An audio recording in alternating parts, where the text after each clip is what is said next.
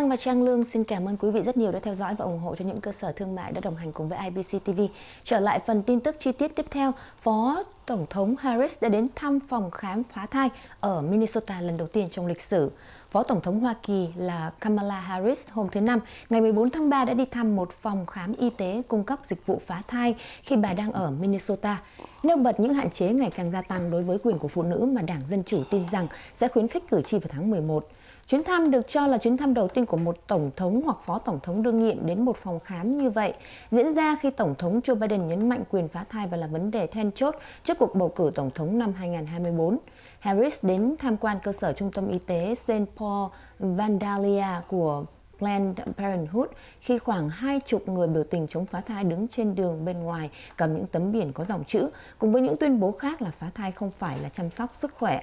Sau khi hoàn thành chuyến tham quan bị cấm báo chí, Harris cho biết là phụ nữ ở nước này đang phải trải qua nỗi đau thầm lặng vì sức khỏe của họ bị tấn công. Phó Tổng thống nói với các phóng viên, ngay bây giờ ở đất nước chúng tôi, chúng tôi đang phải đối mặt với một cuộc khủng hoảng sức khỏe rất nghiêm trọng và cuộc khủng hoảng này đang ảnh hưởng đến rất nhiều người dân ở trên đất nước chúng tôi.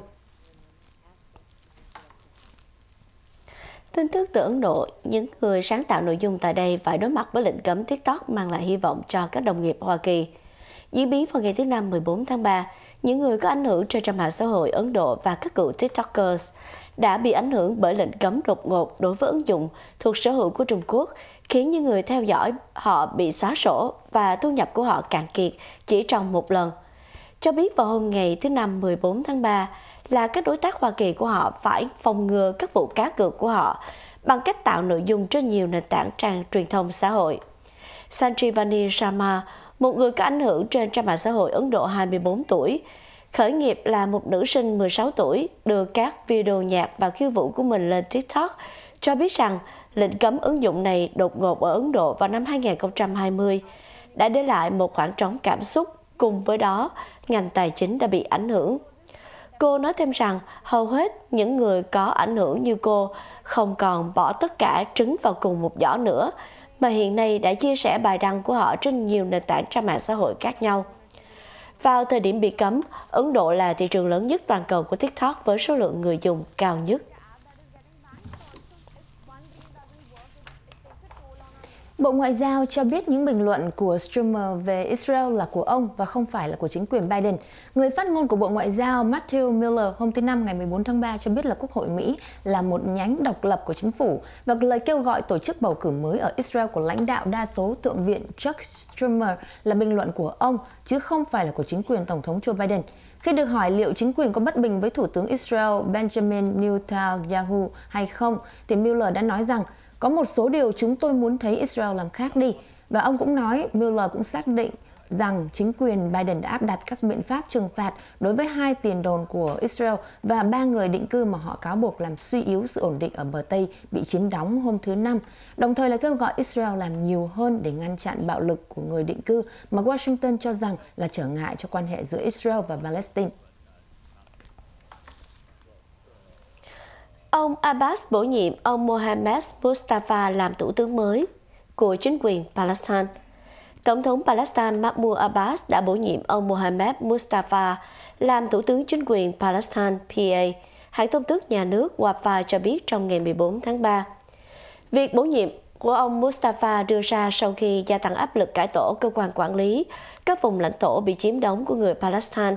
và cải thiện khả năng quản lý tại bờ Tây bị chiếm đóng nơi họ đặt trụ sở. Wafa cho biết thêm, thủ tướng mới được giao nhiệm vụ lãnh đạo việc cứu trợ và tái thiết giải Gaza, đồng thời cải cách các thể chế của chính quyền Palestine. Ông Mustafa thay thế cựu thủ tướng Mohammed Shataya, người cùng với chính phủ của ông đã từ chức vào hồi tháng 2. PA do đảng chính trị Fatah thống trị nắm quyền kiểm soát hành chính đối với Gaza cho đến năm 2007 sau khi Hamas giành chiến thắng trong cuộc bầu cử lập pháp năm 2006 tại các vùng lãnh thổ bị chiếm đóng và trục xuất tổ chức này khỏi giải đất này. Kể từ đó, Hamas đã cai trị Gaza và PA quản lý các khu vực ở bờ Tây do Israel chiếm đóng.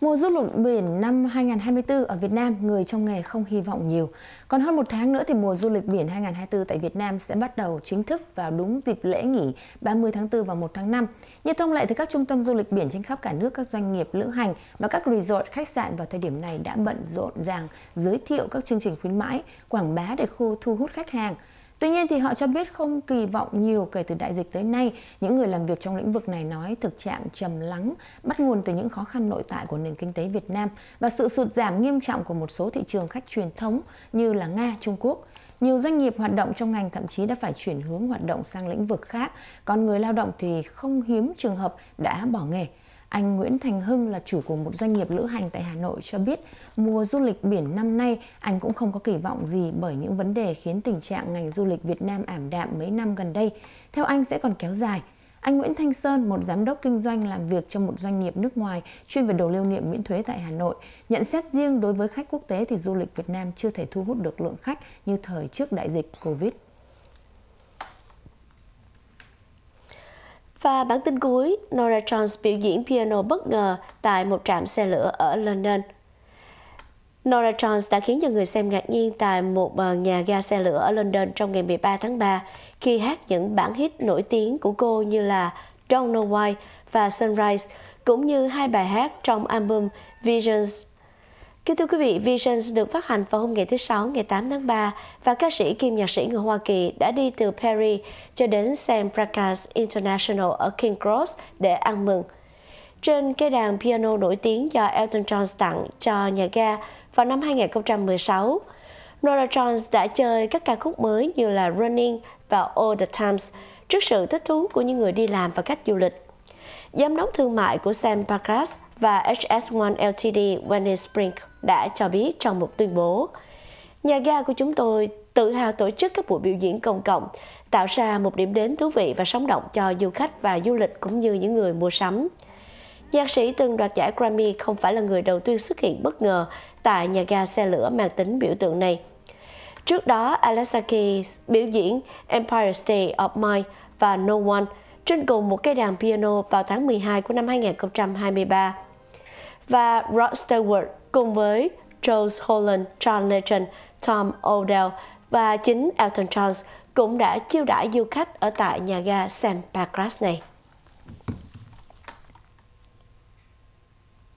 Kính thưa quý vị, phần tin vừa rồi đã kết thúc chương trình tin tức tổng hợp của đài truyền hình IBC TV buổi trưa ngày hôm nay do sứ ngôn viên Minh Đăng và Trang Lương thực hiện. Xin trân trọng cảm ơn quý vị rất nhiều đã theo dõi chương trình và đặc biệt gửi lời cảm ơn tới nhà bảo trợ BNT Insurance. BNT Insurance là một đại lý bảo hiểm cung cấp tất cả những hình thức bảo hiểm về xe, nhà, nhân thọ, cơ sở thương mại Workerscom, quỹ về hưu Retirement Account, Annuity, 401k rollover, Quý vị có câu hỏi hoặc là muốn quote những giá bảo hiểm tốt hơn trong uh, những dịp uh, về uh, căng tức là uh, về bảo hiểm đang tăng lên cao rất là nhiều ở Cali bây giờ thì quý vị có thể gọi cho BNT Insurance tại 714 531 3100 tại Bosa Avenue, Westminster, California cũng như những office ở trên uh, Los Angeles như là 626 999 5865 và 626 570 0342. Chúng tôi cũng cung cấp bảo hiểm cho các tiểu bang California, Texas, Nevada, Florida. À, hiện tại bây giờ thì quý vị cũng biết là các hãng bảo hiểm đều lên giá và có thể không renew rất nhiều những à, policy. Xin hãy đừng ngần ngại à, gọi cho chúng tôi để được tư vấn hoàn toàn miễn phí và có thể chia sẻ những số phone của chúng tôi cho những người đang cần. Xin cảm ơn quý vị rất nhiều.